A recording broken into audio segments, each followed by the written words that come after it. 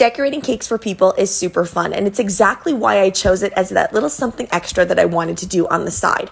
However, I feel like when people walked into the bakery and said this, it was usually followed up with, I just wish I could sit around all day and decorate cakes and get paid for it. And there's innately a little problem with that. I feel like it's discounting all of the work that actually goes into cake decorating.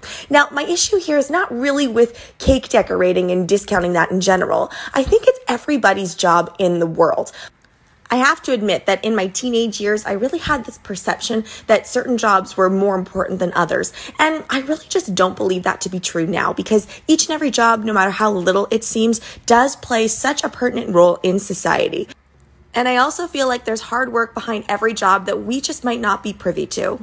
And I know that some of my cake and cookie decorator friends might feel like their job isn't that important, but the truth is we bring so much joy to people and that's important.